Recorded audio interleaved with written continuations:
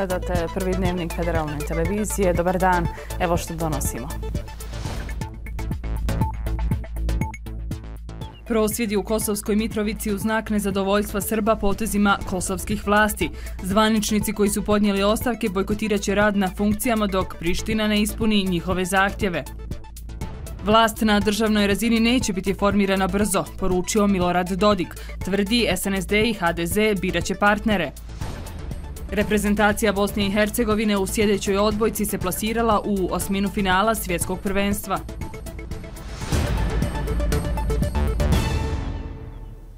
Najnovija runda tenzija na Kosovu se nastavlja i danas. Ostavke su podnijeli i zastupnici u lokalnim skupštinama te gradonačelnici na sjeveru Kosova. Da bi pokazala nezadovoljstvo odlukama kosovskih vlasti, Srpska lista je pozvala na sveopći narodni skup u Kosovskoj Mitrovici koji bi trebao početi u ovim trenucima. U jeku krize zbog odluke vlade Kosova o preregistrovanju tablica izatih u Srbiji niz novih problema na sjeveru Kosova. Suspenzija jednog zvaničnika povukla je ostavke mnogih drugih. Kao odgovor, odluku kosovskih vlasti da suspenduju direktora policije Nenada Đurića. Odlučili smo da napustimo sve političke institucije, dakle Skupštinu, vladu i četiri opštine na severu Kosova, ali, da, ali i da napustimo učešće i rad Srba u organima pravosuđa, policije na severu Kosova i svog administrativnog osoblja u četiri opštine na severu Kosova. Ostavke su podnijeli i zastupnici u lokalnim skupštinama te gradonačelnici Sjeverne Mitrovice, Leposavića, Zubinog potoka i Zvečana. Tim činom su praktično prestale da funkcionišu srpske opštine u okviru kosovskog sistema. Još jedan način da Srbi na Kosovu pokažu nezadovoljstvo odlukama vlasti je i sveopšti narodni skup na koji je Srpska lista pozvala su narodnike da se okupe i poruče Evropi i svijetu da je njihova jedina država Srbija. Mi e, sutrašnji protest dočekujemo u dobrom raspoloženju, uvereni, jedinstveni i složni da je, mogu tako reći, ovo jedini način da se izborimo za budućnost srpskog naroda na Kosovo i Metohiji. O sigurnosnoj situaciji je teško govoriti. Kosovski mediji pišu da Srbija planira iscenirati incidente u sjevernom dijelu Kosova da bi došlo do otvorenog sukoba između policije i Kejfora. Iz Srbije poriču da su naumili takvo nešto, a iz NATO-a upozorenje. Razgovarao sam sa specijalnim predstavnikom Evropske unije Miroslavom Lečakom o napetoj situaciji na sjeveru Kosova i Beograd i Priština moraju da pokažu uzdržanost i spriječe eskalaciju. Kejfor ostaje na oprezu, spreman je da interveniše u slučaju da stabilnost bude ugrožena. Lajčak je tokom sastanka sa srbijanskim predsjednikom Aleksandrom Vučićem u petak kazao da očekuje odgovorno ponašanje obje strane da bi se sačuvala stabilnost i sigurnost u vrijeme novih napetosti na Kosovu. Vučić je nakon niza sastanaka tokom jučerašnjeg dana najavio odlikovanje suspendovanog direktora policije na Kosovu Nenada Đurića, koji je odbio da svom narodu dijeli ukore zato što ne prihvataju registarske tablice koje traže kosovske vlasti. S druge strane, kosovski premijer Albin Kurti je iznio teške optužbe na račun Beograda, kazavši da je Vučić prevario Amerikance i Evropljane, te da je oruđe u rukama Kremlja. Uputio je poruku i Srbima na sjeveru Kosova. Ja nisam premijer koji je protiv vas, već je Beograd protiv mene. Ja sam premijer koji će vam biti na usluzi, poštujući ustavnost i zakonitost Republike Kosova. Za mene je prioritet borba protiv kriminala i korupcije, dakle pravda, ekonomski razvoj, znači i zapošljavanje, jednakost i blagostanje za sve, bez obzira na etničku pripadnost, vjeru i porijeklo. Nemojte bojkotovati ili napustiti institucije Kosova. One služe svima, svakome od vas. U oči protesta u Kosovskoj Mitrovici, koje je slobodno možemo nazvati skupom visokog rizika, iz Srbije i od predstavnika Srba na Kosovu stigle su zapaljive poruke. Oni koji su podnijeli ostavke na funkcijama kosovskih institucija najavili su da će bojkot trajati dok Priština ne ukine preregistraciju vozila, ne formira zajednicu srpskih opština, te dok ne ispuni ostale dogovore iz Briselskog sporazuma. Ovih je dana veoma zanimljiva situacija pri formiranju vlasti u Tuzlanskom kantonu. Optužbe za prelijetanje i varanje građana na izborima sve su glasnije. Naime, nije iznenađenje što su SDA i DF nastavili suradnju i potpisali izjave o formiranju skupštinske većine. Ipak u tome su im pomogla dva zastupnika PDA, Jakub Suljkanović i Senad Alić. Dakle, iako su na listama bili ispred PDA, odlučili su se prikloniti formaliziranoj skupštinskoj većini. Do jučer strogo jedni protiv drugih, danas zajedno. U politici koja je više igra nego način upravljanja, to je i tekako moguće. No ako je moguće, ne znači da bi tako trebalo, smatraju oni kojih se to najviše tiče, građani. To je isto kao kad sjede ljudi u kafanu. Gala im jedan protiv druge, čim jedan naruči drugom piće, odmah se zagrli i počnu pijati. Tako si on. Prljavo, ružno, nikakvu nadu građanima ne daju, nikakvo povjerenje nemamo u njih. Nemamo uopće u budućnost povjerenja i uplošeni smo od svega i depresivni. Štimano je sve, znači čim se štima, poigrava se. Ne bi znao više kome vjerovatni, ali to je i taka igra. Mišljenje građana potvrđuje i struka. Analitičari kažu da je onima koji žele vidjeti sasvim jasno o čemu je ovdje riječ. Politička scena Tuzlanskog kantona je poligon čestih promjena zbog kojih se obećanja data građanima ne ispunjavaju. Ova nova parlamentarna većina u Tuzlanskom kantonu je pokazala da je politika isključivo interes. Možda se iza to krije nešto drugo, ali ne bi želio da špekulišem, ali to je klasična prevara građana birača. Prelazak iz jedne stranke u drugu u Bosni i Hercegovini nije ništa neuobičajeno, jednako kao ni povratak starom jatu. Oni kojima se članovi vraćaju kažu da se bespotrebno diže prašina. Kad jedan ili dva čovjeka onaj, zbog svojih političkih uvjerenja pristupe nekoj parlamentarnoj većini, onaj, a kad iz SDA odnesu mandat, onda je to slavlje. Ti ljudi su jednostavno napravili procjenu da treba da se vrate kući. Evo, toliko. S druge strane, PDA, koja je ove godine zabilježila loš rezultat na izborima iz koje članovi masovno odlaze, oglasila se saopštenjem. Postupke kandidata ocjenjuju kao licemjerne, a situaciju kao koruptivnu. Pozivamo visokog predstavnika da sankcioniše političku korupciju te da u skladu sa svojim ovlastima oduzme mandate osobama koji su prodale stranku na dan objave konačnih rezultata. Hoće li visoki predstavnik reagovati, ne zna se, no zna se da za sada parlamentarnu većinu u Tuzlanskom kantonu čine 13 zastupnika SDA, 4 DF-a i 2 zastupnika PDA koji će djelovati kao nezavisni. Koalicija još nije zaključena, te su i druge stranke dobrodošle, kazali su predstavnici SDA i DF-a. Smatraju da bi im se mnogi pridružili samo kada bi dobili zeleno svjetlo. U Tuzlanskom kantonu postoje politički subjekti koji po svoje mišljenje idu u Sarajevo.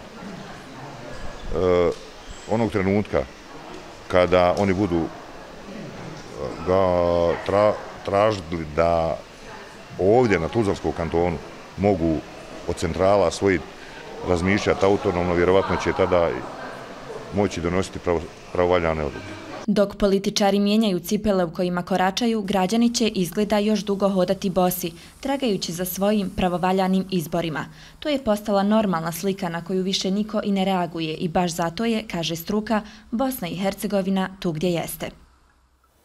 Predsjednik SNSD-a Milorad Dodik je izjavio da vlast na državnoj rezini neće biti formirana brzo, kao i da će njegova partija zajedno sa HDZ-om izabrati partnera s kojim će formirati vlast. Kako je naveo, SNSD će najvjerojatnije imati četiri zaslanika u Domu naroda, a zajedno s koalicijskim partnerima imaće i osam zastupnika u zastupničkom domu, te da bez njih neće biti moguće formiranje vlasti. Dodaje i da je logično da oni koji imaju vlast u entitetima formiraju i vlast na razini Bosne i Hercegovine, jer to može donijeti određenu stabilnost. To neće biti samo puk izbir. Mi ćemo ući s onima koji će prije nego što uđemo u strukture vlasti prihvatiti da se deblokiraju projekt u Republike Srpskoj vezano za gasovod, vezano za aerodrom u Trebinju, za Bug Bijelu i s onima koji budu spremni bili da to učine prije formiranja vlasti, ali imamo kapacitete, oni će biti naši partneri. I mi podržavamo da predsjedavajući savjeta ministara bude iz Hrvatskog naroda, prije svega iz HDZ-a. I da u tom pogledu ovaj, apsolutno ovaj, ćemo podržati bilo koji prijedlog koji dođe od HDZ-a. Mi ćemo preferirati ministarstvo financija i još e, tri ministarstva, jer četiri pripada Republike Srpskoj. Stranke okupljene oko trojke oglasile su se nakon što je Središnje izborno povjerenstvo usvojilo odluku o postupku popune nedostajućih mandata u Domu naroda federacije. Kažu, SIP je u ovom izbornom procesu pao na svim ispitima, jasno pokazujući da nije dorastao zadatku. Tvrde da su sve postizborne odluke donesene na štetu trojke, te da je očita politička pristrasnost SIP-a. Uvjereni su da im je nanesena šteta koja se mjeri u velikom broju mandata u skupštinama i parlamentima. Zbog svega navedenog, zastupnici stranaka Trojke u državnom parlamentu neće podržati izvješće Središnjeg izbornog povjerenstva. Iako je primjenom izbornog zakona Bosne i Hercegovine CIK preostala dva obavezna mandata zastupnicima iz reda srpskog naroda bio obavezan dodijeliti SDP-u kao dva dodatna mandata, CIK je manipulacijom propisima zadržao SDP, a samim tim i trojku na istom broju mandata. Kijev se suočava s mogućim nestankom struje, ali i s prekidima u snabdjevanju vodom i grijanjem koji su uzrokovani ruskim udarima, rekao je gradonačelnik Ukrajinske prijestolnice Vitali Kličko. Dodao je da bi građani trebali napraviti zalihe i razmotriti privremeno iseljavane, dok New York Times piše da Kijev zapravo pripremaju na evakuaciju. Ukrajinske vlasti za ove probleme isključivo krive ruske snage koje je predsjednik Rusije Vladimir Putin odlučio pojačati tako što je naredio mobilizaciju zatvorenika osuđenih za teške zločine. Nakon zastoja zbog suspenzije ugovora o žitaricama, koridori za brodove ponovno nesmetanog funkcioniraju. U proteklih sedam dana 28 brodova koji su prenosili više od 800.000 tona poljoprivrednih proizvoda je napustilo naše crnomorske luke. Primjerom inicijative za izvoz žitarica mi smo pokazali da je svijet u stanju garantovati stabilnost uprkos prijetnjama koje predstavlja Rusija. Svijet se nije potčinio ruskoj ucjeni, a rezultat toga je izbjegnuto pogoršanje krize sa hranom. Ovo je jedan od najznačajnijih međunarodnih rezultata cijele jeseni. Kada je svijet ujedinjen, teroristi nemaju šanse. Sport u nastavku dnevnika, reprezentacija Bosne i Hercegovine u sjedećoj odbojci se plasirala u osminu finala svjetskog prvenstva. Izabranici Ifeta Mahmutovića su ulogu favorita opravdali i protiv selekcije Japana. Slavili su 3-0 u setovima i tako prvu fazu natjecanja okončali sa 100% učinkom u skupini A. Dalje idu s prvog mjesta, a u smini finala će se sastati s posljednje plasiranom selekcijom iz skupine B Hrvatskom. Solidnu partiju pružio je Jusuf Nurkić u porazu svog Portlanda od Feniksa. U derbiju zapadne konferencije NBA lige Phoenix Sunse su pred svojim navijačima savladali oslabljene Blazerce 102-82. Domaći tim je bio bolji u svim segmentima igre, a predvodio ih je Bukers 24 ubačaja. Jusuf Nurkić je na parketu proveo 22 minute i postigao 8 pojena uz 7 skokova. Najbolji u njegovom timu je bio Grant sa 14 koševa. Šestu pobjedu u sezoni ostvario Denver. Nageci su bez problema dobili San Antonio 120 126-121. Double-double učinak je imao Nikola Jokić, 21 poen, 10 asistencija i 6 uhvaćenih lopti. Odličan je bio Hillan sa 24 ubačaja, a još četvorica igrača Denvera su imala dvocifren šuterski učinak. Nezaustavljivi Milwaukee je ostao jedina neporažena ekipa u novoj sezoni. Iako bez Adetokumba, Bakse su bili prejaki i za Oklahoma 108-94. Ulogu lidere preuzeo Lopez. Boston je ubjedljivo bio bolji od Nixa u Njujorku. Atlanta je na svom terenu nadigrala New Orleans poslije produžetka, a slavili su još Brooklyn i Minnesota. U polufinale završnog VTA turnira iz skupine A plasirale su se Iga Švjontek i Karolina Garcia. Švjontek je deklasirala Amerikanku Coco Goff sa 6-3-6-0 i pokazala zašto je prvi favorit za osvajanje titule. Karolina Garcia je nakon velike dvojiposatne borbe svladala Dariju Kasatkinu za mjesto među četiri najbolje. Francuskinja će večeras u polufinalu snage odmjeriti s Grkinjom Sakari, dok će nakon njih na teren Švjontek i Sabalenka. Finale ATP Mastersa u Parizu igra se u 15 sati, a sastaju se Đoković i Rune. Za kraj dnevnika još prognoza vremena. Jutro se u našoj zemlji oblačno vrijeme. U većem dijelu Bosne pada slaba kiša ili rosulje. Najniža temperatura zraka izmjerena u 7 sati bila je na Bjelašnici minus 2, a najviše u Mostaru i Neumu 14 stupnjeva. Danas će u Bosni preovladavati oblačno vrijeme. Prije podne je povremeno sa slabom kišom ili rosuljom. U Hercegovini je dio prije podneva pretežno oblačno uz postupno razvedravanje. Vjetar slab sjeverni i sjeveroistočni. Dnevna temperatura od 7 do 13, u Hercegovini od 14 do 19 stupnjeva Celzijevih. U dnevniku toliko hvala vam na pažnji i doviđenja.